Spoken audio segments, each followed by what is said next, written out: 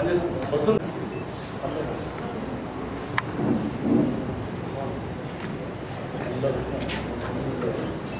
Anyway గౌరవనీయులైన municipal chairperson గారు మరియు ఇతర గౌరవనీయులైనటువంటి మిత్రులైనటువంటి కౌన్సిలర్లందరికీ వైస్ చైర్మన్ గారికి ప్రతి ఒక్కరికి నా యొక్క నమస్కారం.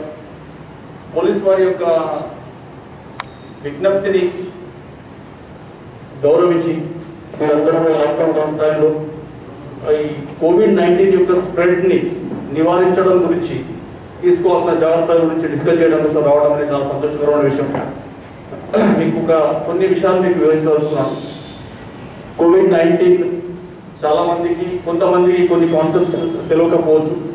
నేను మెడికల్ మ్యాన్ కాదు బట్ థింగ్ ఏంటంటే కొన్ని విషయాలు నేను బయట చదువుకునే మీకు చెప్పదలుచుకున్నాను. సో దట్ ఇది స్ప్రెడ్ ఎట్లా ఉంది ఇది ఎందుకు డేంజరస్గా కన్సిడర్ అవుతుంది?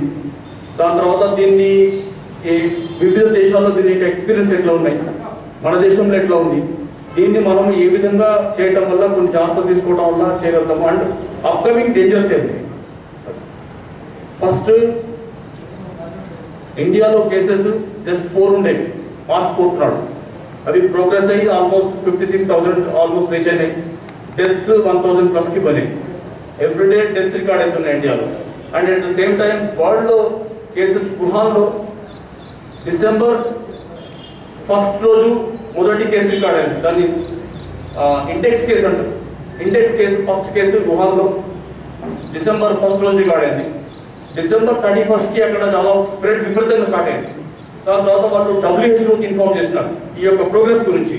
డబ్ల్యూహెచ్ఓ మిగతా దేశాలని చేసినట్టు దాని తర్వాత నెక్స్ట్ ఇండియా ఎంత లాక్డౌన్ ఉన్నా కూడా మనం జాగ్రత్తలు లేకపోతే పబ్లిక్ కనుక జాగ్రత్త లేకపోతే మాత్రం ఇది spread Boris Johnson British prime minister ఆయన కూడా చావు నుంచి బయటకు వచ్చినారు.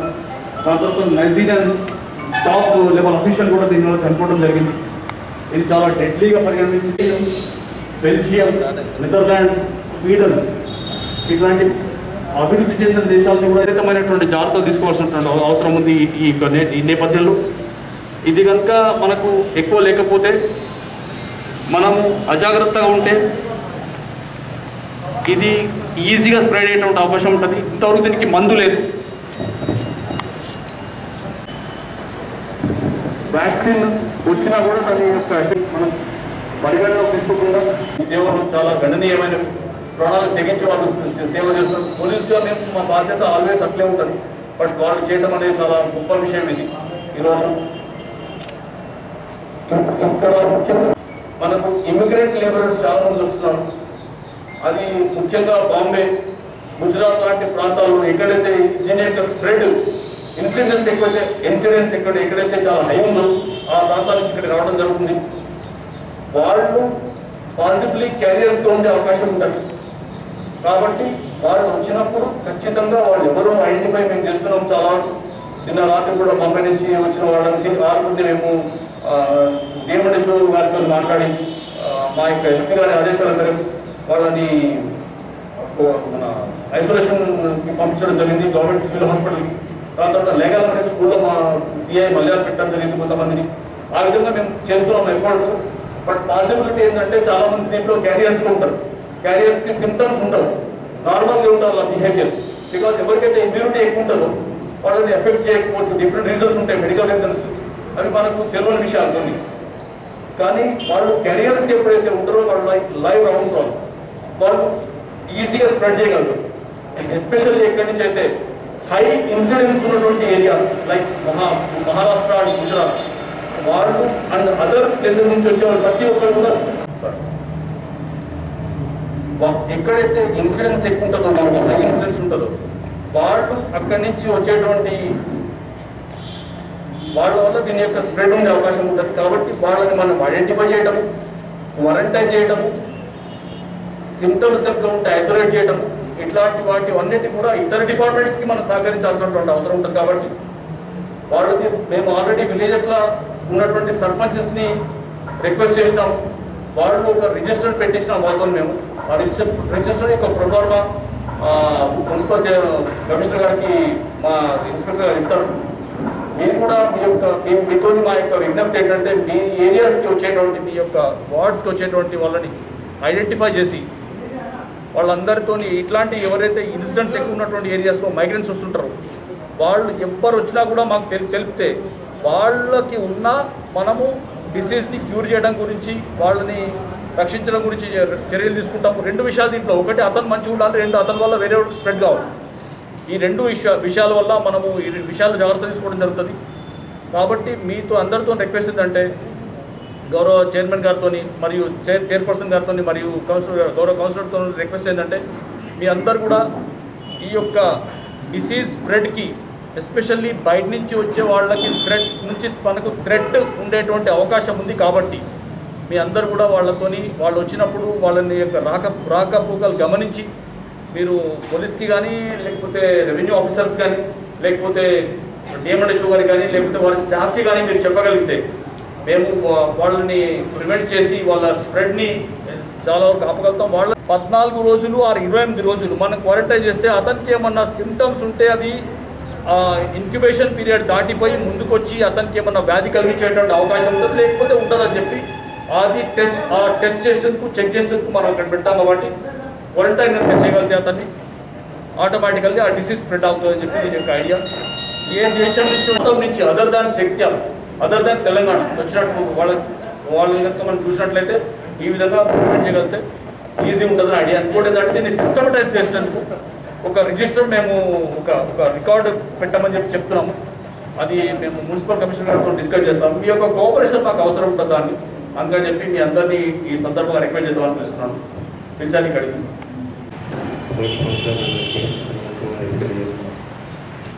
క్వారంటైన్ సార్ చెప్పినట్టు ఉంటారు కరెక్ట్ కలిసిన వ్యక్తులు బయటకు వస్తున్నారు సార్. దాన్ని ఎట్లా నివారించారు సార్? అది ఎట్లా నివారించాలంటే మీరు మాకు చెప్పండి వెంటనే. మేము వాళ్ళని క్వారంటైన్ చేస్తాము లేకపోతే క్వారంటైన్ సెంటర్లో పెడతాము వాళ్ళని కేసెస్ రాయిస్తాం క్వారంటైన్ చేస్తే వాళ్ళ ఫ్యామిలీ మెంబర్స్ కూడా వాళ్ళతో కలిసి బయటకు వస్తే సార్కి ఇన్ఫార్మ్ చేయమంటున్నారు. అప్పుడు ఇన్ఫార్మ్ చేసినప్పుడు ఏదైనా డౌట్ ఉన్నట్టయితే వాళ్ళని కూడా కేర్ చేస్తారని చెప్పి చెప్తున్నారు. ఎవరైనా కానీ వాడకట్టుకు వచ్చినప్పుడు విదేశీయులు కానీ మరియు వలస కూలీలు ఎవరైనా కానీ ఇంట్లో ఉండేటట్టు తెలుసుకొని వాళ్ళ డిఎంఎండ్ఓ కానీ సీఏ గారికి కానీ కమిషనర్ గారికి కానీ తెలియజేసినట్టయితే వారి తగిన చర్య తీసుకున్నాం ఇందాక డిఎస్పీ గారు చెప్పినట్టు కోవిడ్ నైన్టీన్తో ప్రపంచమే కాదు మన దేశంలో రాష్ట్రంలో కూడా ఎన్నో బాధలను అనుభవిస్తున్నాం. లాక్డౌన్ వంటి ఒక పరిస్థితిని కూడా అందరం ఎదుర్కొంటున్నాం. అలాగే మన కోవిడ్ నైన్టీన్ కేసెస్ మన రాష్ట్రంలో చాలా తక్కువ ఉండొచ్చు. ఎందుకంటే అది మనం పస్- పటిష్టంగా లాక్డౌన్ అమలుపరచడం వల్లనే ప్రజలందరూ కూడా ఎంతో చక్కగా సహకరించారు కూడా. అలాగే దశల వారీగా కూడా లాక్డౌన్ ఎత్తివేయడం జరుగుతుంది. ఇప్పుడు గ్రీన్ ఆరెంజ్ జోన్లలో కూడా కొన్ని సడలింపు చర్యలు తీసుకున్నారు. అలాగే ముఖ్యంగా మహారాష్ట్ర ముంబై వివిధ వివిధ ప్రాంతాల నుండి కూడా చాలా మంది వస్తున్నారు మన వార్డులలోకి.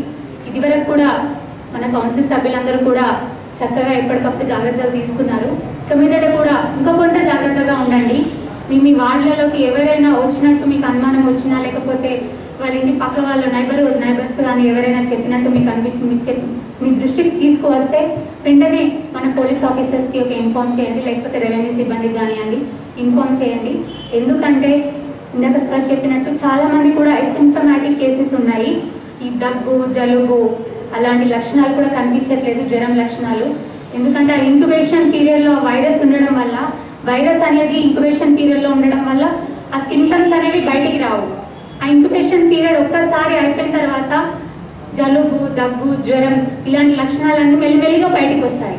ఈ పద్నాలుగు రోజులు ఎట్ లాస్ట్ ఇరవై ఎనిమిది రోజుల పీరియడ్ అయితే ఏదైతే ఉందో అది ఇంక్యుబేషన్ పీరియడ్ అంటాం.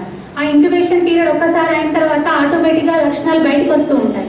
అందుకనే ఈ హోమ్ క్వారంటైన్ అనేది home quarantine at the same time మన గవర్నమెంట్ వాడుతున్న క్వారంటైన్ సెంటర్స్ అయినా కూడా అందుకోసమే. అందుకే ప్రజలందరూ కూడా సహకరించాలని నేను కోరుకుంటున్నాను. అలాగే మన గౌరవ కౌన్సిల్ సభ్యులు కూడా వివిధ వార్డులలో కూడా వాళ్ళ వద్దకు వెళ్ళి ఎక్స్ప్లెయిన్ చేయండి వివిధ ప్రాంతాల నుంచి వచ్చిన వాళ్ళకి. ఎందుకు మేము ఉండాలి? మేము బాగానే ఉన్నాం కదా. మాకు దగ్గు జలుబు జ్వరం లాంటివి ఏం లేదు కదా అని కొంతమంది అంటుంటారు. నాతో కూడా చాలామంది అన్నారు మా వాళ్ళు కూడా ఇంతకుముందు వచ్చిన వాళ్ళు. కానీ మీరు ఎక్స్ప్లెయిన్ చేయండి వాళ్ళ దగ్గరికి వెళ్ళి. ఎందుకంటే చాలామందికి ఎడ్యుకేటెడ్ పర్సన్స్ ఉంటారు ఇప్పుడు. వస్తుంటారు. ఇప్పుడు దుబాయ్ నుండి వచ్చిన వాళ్ళు ఉంటారు ఇందాక సార్ చెప్పినట్టు ముంబై నుండి వచ్చిన వాళ్ళు ఉంటారు.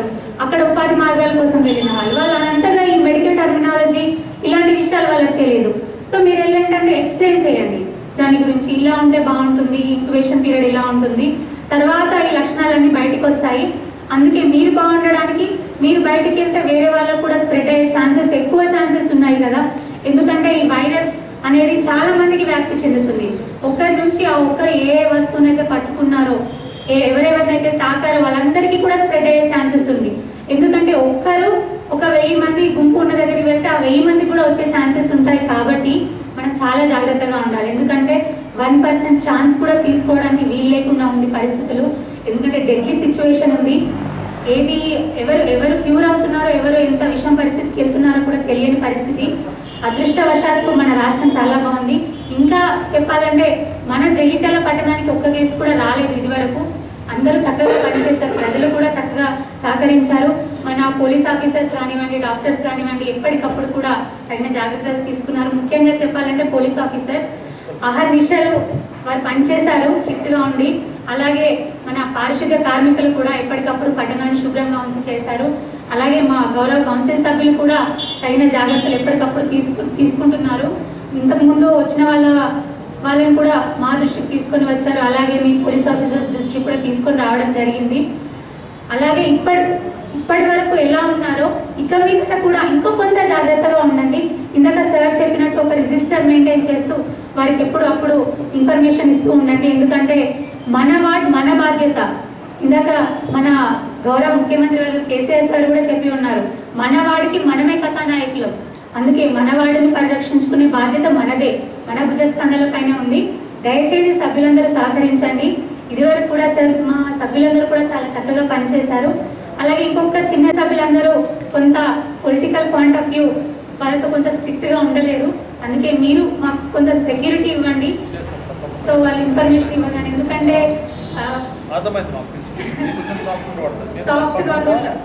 మీరు చెప్పండి మా ఇన్స్పెక్టర్ గారు రిక్వెస్ట్ చేస్తాను ఆయన ఫోర్స్ పంపిస్తారు మేము దానికి అడిక్వేట్గా ఏదైతే లీగల్గా మాకు చెప్పబడదో దానికి చర్యలు కండక్ట్ చేయడం ఎందుకైందంటే ఈ మ్యాటర్ చాలా సీరియస్గా ఉంది కాబట్టి మీకు అందరికీ మీ ద్వారా ప్రజలందరికీ చేరేటట్టు మళ్ళీ రెండోసారి డిఎస్పీ గారు స్వయంగా నేనే మాట్లాడతాను అందరితో అని చెప్పితే షార్ట్ నోట్స్ నిన్నే సాయంత్రం మీరు మీకు చెప్పి ఈ సమావేశం నిర్వహించేయండి.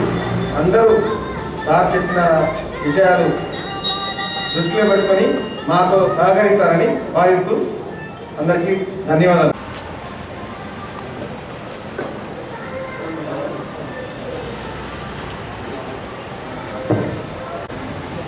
విషయాలంటే ఈరోజు కోవిడ్ మహమ్మారి రోజు రోజుకు కోరలు చేస్తున్న సందర్భంలో జగిత్యాల పట్టణంలో ఉన్నటువంటి ప్రజలందరూ కూడా సురక్షితంగా ఉండాలని చెప్పి డిఎస్పీ గారు ఈరోజు సమావేశం ఏర్పాటు చేసిన ఏర్పాటు చేయడం జరిగింది. గతంలో కూడా ఇన్స్పెక్టర్ గారి ఆధ్వర్యంలో ఒకసారి గతంలో కూడా సమావేశమైనాం. కానీ రోజు రోజుకు కేసులు పెరుగుతున్నట్టు సందర్భంలో జగిత్యాలకు ఒక ప్రత్యేకమైన స్థానం ఉంది. ఇక్కడ ఎందుకంటే మార్కెటింగ్ మామిడి మార్కెటింగ్ కానీ ప్యాడీ కానీ ఇంకా ఇతర బిజినెస్కు సంబంధించినటువంటి ఎక్కువ జగిత్యాల నుంచే మరి ఎక్స్పోర్ట్ చేయబడుతుంది కాబట్టి మరొకసారి బయట దేశాల నుంచి కూడా ఎక్కువ మంది వస్తున్నారు కాబట్టి మళ్ళీ గౌరవ సభ్యులకు ఒకసారి కూర్చొని మాట్లాడే సమావేశానికి ఇచ్చేసినటువంటి గౌరవ డిఎస్పి గారికి సర్కిల్ ఇన్స్పెక్టర్ గారికి గౌరవ చైర్పర్సన్ గారికి వైస్ చైర్మన్ గారికి గౌరవ కౌన్సిల్ సభ్యులందరికీ కూడా పేరు పేరు నమస్కారం. ఇలాంటి సమావేశాలు మరి కౌన్సిల్ సభ్యులను కూడా కూర్చొని మాట్లాడుకోవడం జరిగింది. మొన్నటికి మొన్న అడిషనల్ కలెక్టర్ గారు కూడా మరి కొన్ని రాబోయేటువంటి సీజనల్ వ్యాధుల గురించి కూడా టెలికాన్ఫరెన్స్లో మాట్లాడడం జరిగింది. ముఖ్యంగా ఏంటంటే జగిత్యాల పట్టణానికి సంబంధించి మున్సిపల్ పారిశుద్ధ కార్మికులు ఎప్పటికప్పుడు మరి కోవిడ్ ఎప్పుడైతే స్టార్ట్ అయిందో అప్పటి నుంచి కూడా పారిశుద్ధ కార్మికులు గత రెండు సార్లు కూడా మరి జగిత్యాల పట్టణం అంతా కూడా మరి హైడ్రోక్లోరిన్ స్ప్రే చేయడం జరిగింది బ్లీచింగ్ పౌడర్ కూడా చల్లడం జరిగింది. అదేవిధంగా మున్సిపల్ చైర్పర్సన్ గారు ఎప్పటికప్పుడు మరి పట్టణ ప్రజలకు కూడా అవగాహన కల్పించడం జరుగుతుంది. మనం కూడా గౌరవ కౌన్సిలర్లు మన మన వార్డుల పరిధిలో ఉన్నటువంటి ప్రతి ఒక్క బయట ఎక్కడైనా ఏ ఊరు నుంచి వచ్చిన వాళ్ళు ఉంటే ఇప్పటికే ఆశా కార్యకర్తలు కూడా మరి పోలీస్ డిపార్ట్మెంట్ ద్వారా కానీ అటు మెడికల్ డిపార్ట్మెంట్ ద్వారా కానీ వాళ్ళ దగ్గర కూడా మరి ఇంటిమేషన్ ఉన్నది. ఆ ఇంటిమేషన్ మన దగ్గర కూడా వస్తే మనం కూడా వెళ్ళి వాళ్ళందరితో కలిసి అక్కడ ఉన్నటువంటి పరిస్థితులను ఎప్పటికప్పుడు మన డిపార్ట్మెంట్ వారి గారి కానీ వైద్య సిబ్బందికి అందించవలసిందిగా విజ్ఞప్తి చేస్తూ కోడి రైత జిల్లాగా మన పట్టణంగా మార్చుకున్నటువంటి బాధ్యత మనందరూ భుజస్కంధాల ఉంది కాబట్టి తప్పకుండా మనమందరం మనవంతుగా శ్రమపడి మన వార్డు ప్రజలని పట్టణాన్ని పరిరక్షించుకుందామని చెప్పి అదేవిధంగా ఈ కోవిడ్ ఏదైతే ఈ కోవిడ్ కోసం పారిశుద్ధ్యంగా పనిచేస్తున్న వైద్య సిబ్బందికి అదేవిధంగా పోలీస్ సిబ్బందికి ప్రత్యేకంగా పారిశుద్ధ సిబ్బంది కూడా మరొకసారి హృదయపూర్వక నమస్కారాలు తెలియజేస్తూ థ్యాంక్ యూ నా మిత్రుడు శంకర్ ఇప్పుడు ఒక సమస్యను ప్ర- ప్రస్తావించడం జరిగింది. కాడి ఐకేపీ దాని గురించి దాని తర్వాత మ్యాంగో మార్కెట్ గురించి. ఆబ్వియస్లీ అక్కడ చాలా ఎక్కువ మంది జమ అవుతారు. దాని గురించి మా యొక్క ఎస్పీ మేడం గారి యొక్క ఆదేశాల మేరకు వారి దృష్టిలో పెట్టిన తర్వాత మేము చాలా చర్యలు తీసుకోవడం జరిగింది.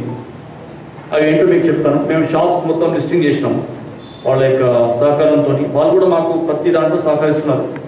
ఎవరైతే మ్యాంగో మార్కెట్ డీల్ వాళ్ళు ఉన్నారో వాళ్ళు షాప్ రన్నర్స్.